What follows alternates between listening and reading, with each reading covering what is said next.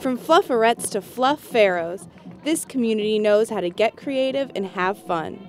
To many, the event shows how a marshmallow spread has become more than just a confectionist condiment.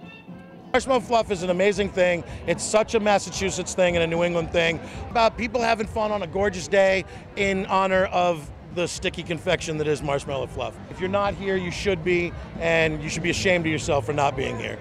The festival, hosted by Union Square Main Streets, pays tribute to late Somerville resident Archibald Query, the man responsible for this sweet spread. Compared to last year, this year's turnout was no match. It's been coming every year since 2008, and every year it seems to double in size, like literally double in size. Some say the weather explains this year's larger crowd. Weather is much nicer now. It's a beautiful day. Last year was kind of overcast and actually a little cool. So, and everybody knew ahead of time that it's going to be nice right through the weekend.